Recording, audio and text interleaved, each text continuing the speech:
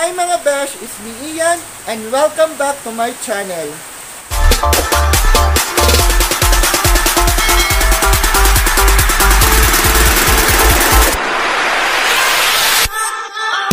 Today is December 16, 2021 at ang mga oras ngayon ay 8.14 ng umaga.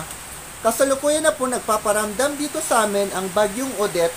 Malakas na po ang ihip ng hangin, pati po ang patak ng ulan. In this video, kailangan ko na pong kunin yung mga laman na 1 peso coins dito sa automatic purified drinking vending machine na isa po sa pinagkakakitaan ko. Actually, gumawa na po ako ng video nito na isa po sa mga patok na negosyong pagkakitaan. So, hindi ko pa po ito dapat kunin pero kasi po ay may bagyo ngayon so kailangan ko na pang kunin yung mga laman na 1 peso dito for in case na po na magkaroon ng evacuation para maitago ko na po ito ng maayos. So mga besh, wag na natin patagalin at sisimulan ko nang kunin yung mga laman na 1 peso coins dito sa loob ng, ng automot, uh, automatic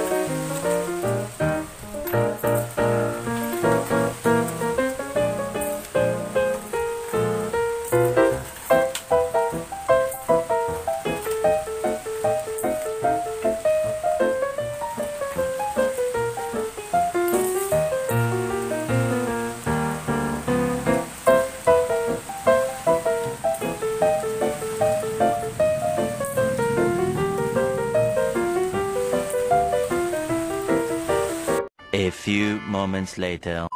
So yung mga besh, nakuha ko na yung mga laman na 1 peso coins. So sa part 2 ko na lang po i-upload kung magkano po itong lahat. And then po maraming salamat po sa panonood. Please like, comment, and share, and subscribe to my YouTube channel. Maraming maraming salamat po. Bye-bye!